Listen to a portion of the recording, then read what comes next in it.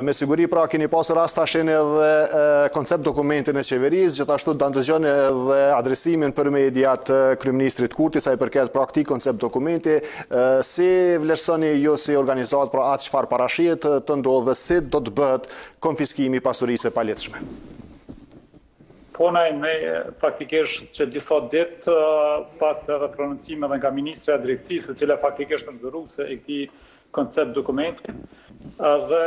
së fundmi ai ky koncept dokument dje u u miratua edhe në qeverinë e Kosovës dhe sot pati edhe një prononcim nga ana e kryeministrit në lidhje me modalitetet të cilat parashihen përmes këtij koncept dokumenti. Ky koncept dokument në esencë ndryshon konceptin e konfiskimit të pasurisë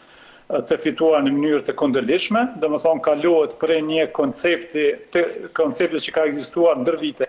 që është koncept penal dhe që ekziston në shumicën e shteteve të Evropës dhe më gjerë, dhe kalon në një koncept civil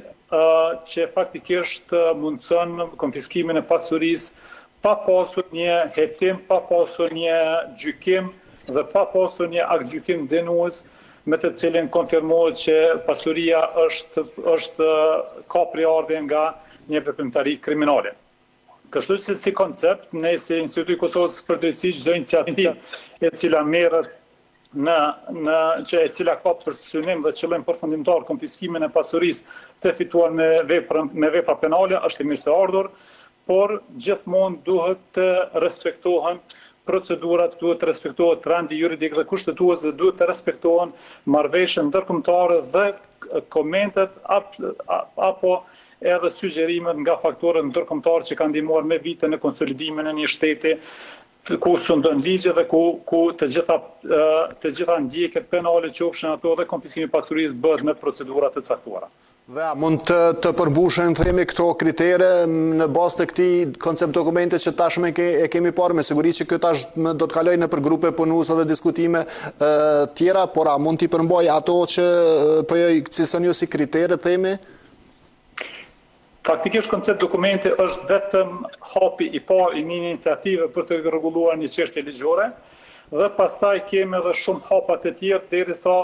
ky dokument të shndërrohet në në projektligj edhe në fund duhet të kalohen edhe shumë filtra të tjerë deri të bëhet ligj dhe i njëjti të fillon të zbatohet. Ne shpresojmë dhe besojmë që në të gjitha këto faza të procedurës për t'u aprovuar ky draft, për t'u, për t'u punuar së pari ky draftligj dhe pastaj për t'u aprovuar dhe për t'u shndërruar në ligj, do të marrin pjesë të gjithë ekspertët e fushës dhe sidomos do të jetë i hapur për partnerët ndërkombëtarë, për Zyrën e BE-së dhe Ambasadën e Shteteve të Bashkuara të Amerikës që kanë investuar me vite të tëra në ndërtimin e në ndërtimin e shtetit ligjor në Kosovë. Kështu që ne ne jemi pak skeptikë në këtë drejtim për arsye se legjislacioni që është në fuqi edhe tani për konfiskimin e pasurisë së fituar me vepër penale është një ndër legjislacionet më të avancuara në shtetet evropiane, e i cili faktikisht IKD edhe në atë kohë kur është punuar ligji për kompetencat e zgjeruara për konfiskimin e pasurisë, ka marrë pjesë në grupet punuese dhe ka dhënë kontributin e saj, dhe atëherë ka pas hezitime nga faktori ndërkombëtar për të kaluar nga një model i konfiskimit penal në një model i konfiskimit civil dhe është zgjedhur një zgjedhje ndërmjetme, i cili është është inkorporuar në ligjin ekzistues tani që kemi për kompetencat e zgjeruar të konfiskimit të pasurisë.